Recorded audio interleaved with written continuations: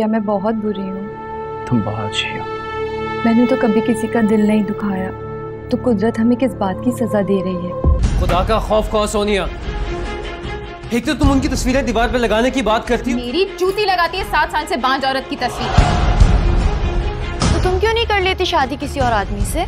जाओ जाके दूसरी शादी करके अपने बच्चों की ख्वाहिश पूरी करो। यहाँ ऐसे क्यों बैठी हुई हो तुम? आप लोगों का दिमाग तो ठीक है। मेरी फैमिली में कोई सोनिया का मर्डर करने की कोशिश कर रहा है सारा तुम बहुत ओवर रिएक्ट कर रही हो। इन्वेस्टिगेशन करने के बाद ही सब कुछ सामने आएगा, मैडम नादिया।